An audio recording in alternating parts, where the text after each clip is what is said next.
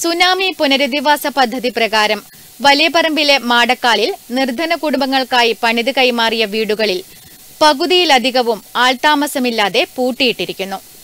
സർക്കാരിന്റെ ലൈഫ് ഭവന പദ്ധതിയിൽ അപേക്ഷ നൽകി നൂറുകണക്കിന് സാധാരണക്കാർ ഊഴം കാത്ത് കഴിയുമ്പോഴാണ് ഒരു വ്യാഴവട്ടക്കാലമായി സർക്കാർ ഫണ്ട് വിനിയോഗിച്ച് നിർമ്മിച്ച വീടുകൾ കാടുകയറി അനാഥാവസ്ഥയിൽ നിലകൊള്ളുന്നത്.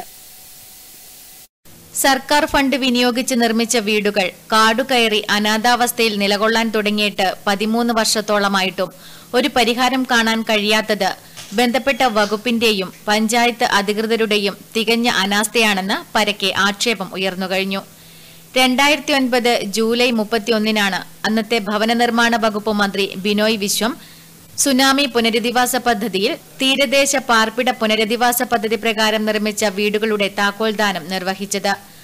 സംസ്ഥാന ഭവന നിർമ്മാണ ബോർഡാണ് ഇതുപ്രകാരമുള്ള ഇരുപത് വീടുകൾ നിർമ്മിച്ചത്.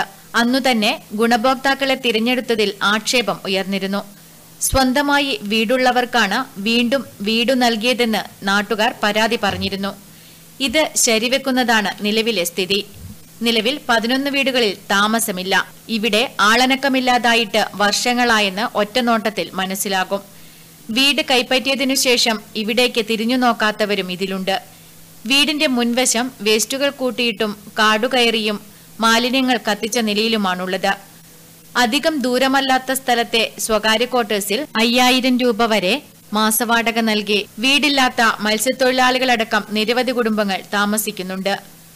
വർഷങ്ങളായി താമസമില്ലാത്ത സുനാമി വീടുകൾ പഞ്ചായത്തോ സർക്കാരോ ഏറ്റെടുത്ത് ചെറിയൊരു വാടകയ്ക്ക് താമസത്തിന് കൈമാറാൻ തയ്യാറായാൽ അത് ഇവർക്ക് ഏറെ സഹായകമാകും.